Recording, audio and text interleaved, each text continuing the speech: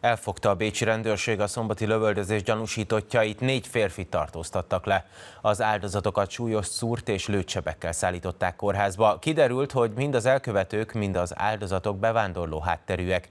Közben Brüsszel még az európai parlamenti választások előtt szeretné elfogadtatni a tagállamokkal a migrációs paktumot. A folytatásban Barna kérdezi vendégét a témában.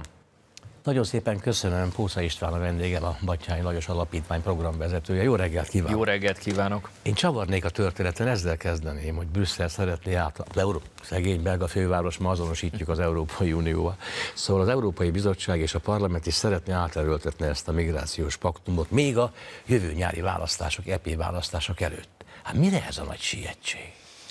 A mostani európai politikai helyzetben azt látják, hogy erre van lehetőség és ezt a lehetőséget megpróbálják kihasználni. Ezt a lehetőséget megpróbálják a, a végtelenségig kihasználni, és minél több olyan vitás kérdést átvinni a mostani Európai Uniós döntéshozáson, amit egyébként lehet, hogy a következő európai parlamenti választásokat követően már nem tudnának. De miért Az... nem? Mert nem olyan pozícióba kerülnek? Más pártok jönnek be? Megváltozik az összetétele jelentős mértékben? Egyrészt a képviselők egy része nem biztos, hogy folytatja. Uh-huh. A nyilván Többről saját döntés alapján.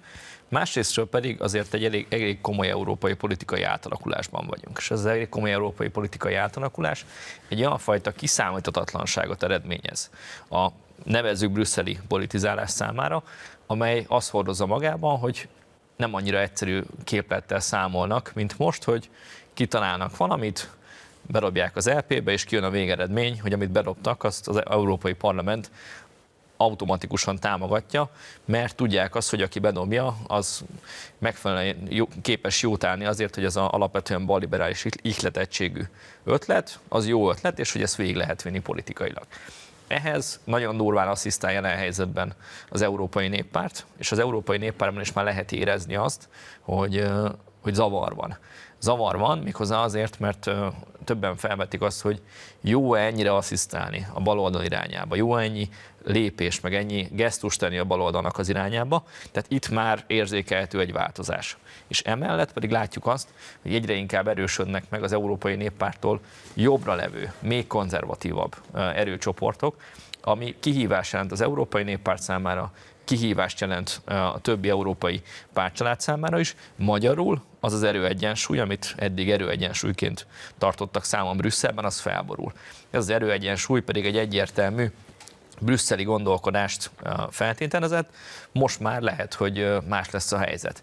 Olyannyira más lesz a helyzet, hogy ezeket a kérdéseket, mint a migráció kérdése, akár háborús kérdések és más kérdések, nem, vagy akár energiakérdések, szankciós kérdések, nem merik és nem szeretnék az európai parlamenti választáson megméretni.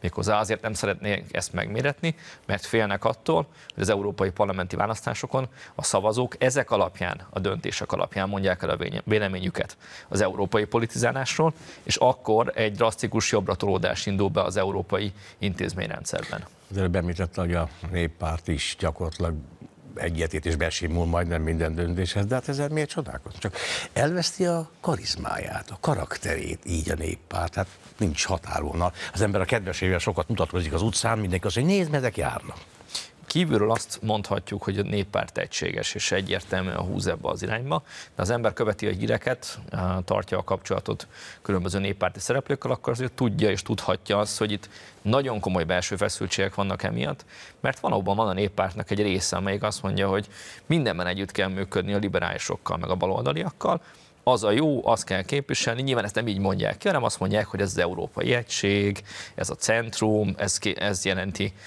az európai érdeket.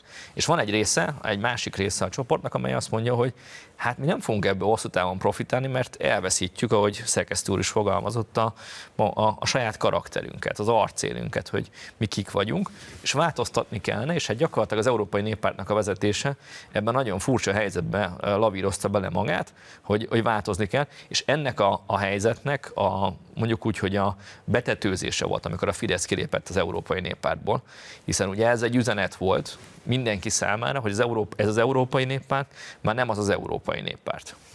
Akkor kanyarodjunk vissza a mezsénkkel, a felvezetésben elhangzott gondolatokhoz, a Bécsi ugye, bandaháború, talán így is lehetne nevezni, elkapták a elkövetőket, legalábbis azokat, akik állítólag részt vettek. Úgy tűnik, hogy ez állandósulhat. Nézzük a szerb határ túloldalán, szinte minden nap van ilyen, most már Bécsbe is. Mi van itt a háttérben, és főleg, hát mi várható, mit tekinthetünk jövőképnek ez ügyben?